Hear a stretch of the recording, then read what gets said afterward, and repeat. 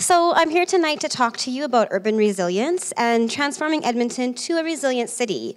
So, when I'm speaking about resilience, I'm really talking about our urban system's ability to survive and thrive amidst and recover and bounce back from sudden shocks or long term stresses and undergoing change.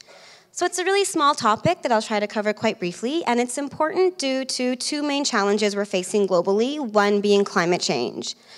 So, currently, contrary to what some people might be saying, Canada is undergoing climate change. We're experiencing a warming rate of approximately two times that of the global average. And while we might not know exactly what that means for us specifically, we know that change is happening.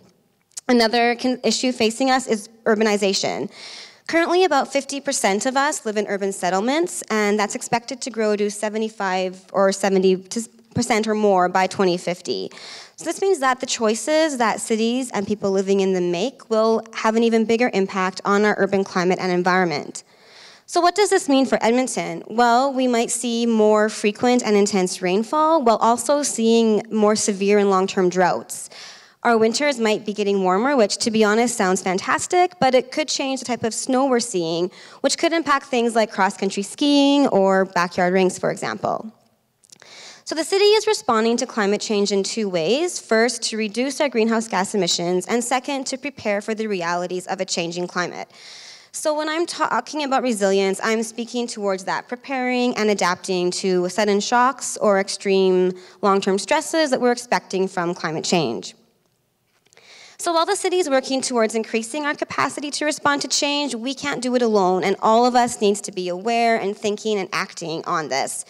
And the time to act is now because we are right now building cityscapes that will be here for the next 70 years or more. And so the choices and decisions that we make today will affect our future abilities. And around the world, cities are leading the resilience charge, but we have to make sure that everybody in our cities and moving to our cities understands this and is aware. So we have to translate this global work into meaningful outcomes for local people. So, what does it even mean to be resilient? Sorry. Well, imagine if we worked even harder to protect our ecosystem so that they continue to provide us with goods and services like flood mitigation or water filtration, so that we don't have to spend so much of our money on engineering solutions. We can steer our cities toward resilience by truly valuing our ecosystems. When the 1915 flood hit the North Saskatchewan, Edmonton decided to, as much as we could, limit development in the river valley to protect and maintain this natural flood protection asset. So, as a society, we need to continue to be reflective on the past and learn from the past, and also keep in mind that this might mean completely departing from the way that we have always done things and what we know. Imagine a system with enough spare capacity that it can maintain essential functions while undergoing extreme events or an increase in demand. The loss of biodiversity that we are experiencing on a global scale is really impacting our ecosystem's ability to function. And so we can do our part by making these systems more robust by protecting our own urban species. We also want to be redundant for resilience, just not in our jobs.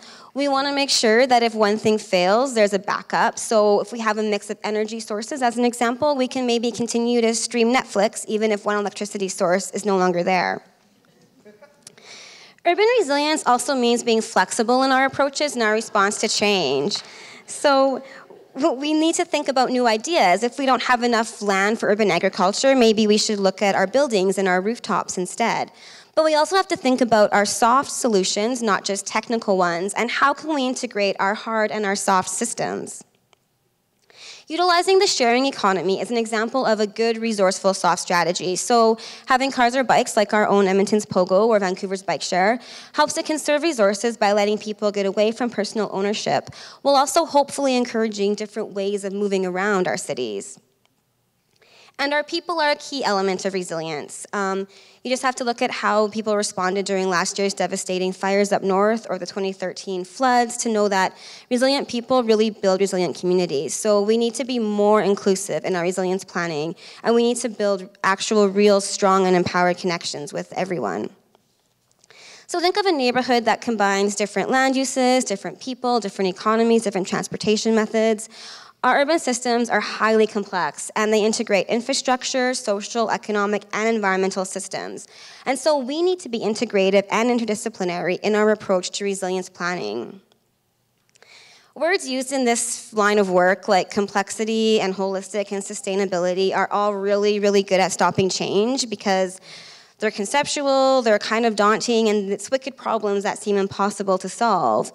But Edmonton is a city of innovators, and I think this innovative spirit can really help us to build creative and on the ground, real resilient solutions. So, these qualities that I've briefly mentioned that help us build towards urban resilience may seem like they require some changes, but here in Edmonton, we're very used to change. We experience extreme seasonal differences, and we're even able to find the beauty in those changes. So, we know that our city is adaptable. Change may also seem scary and negative, but it really doesn't have to be. We didn't stop the shift from horse drawn carriages to modern day cars and maybe electric cars or even autonomous cars one day um, just because they're different. Our societies embrace this shift. So, while great cities of the past may have waged war on nature, I think the great cities of the future will be those who are fighting to protect it. And the message I want to leave is that we cannot run away from climate change and the problem. We have no choice but to run towards the solutions.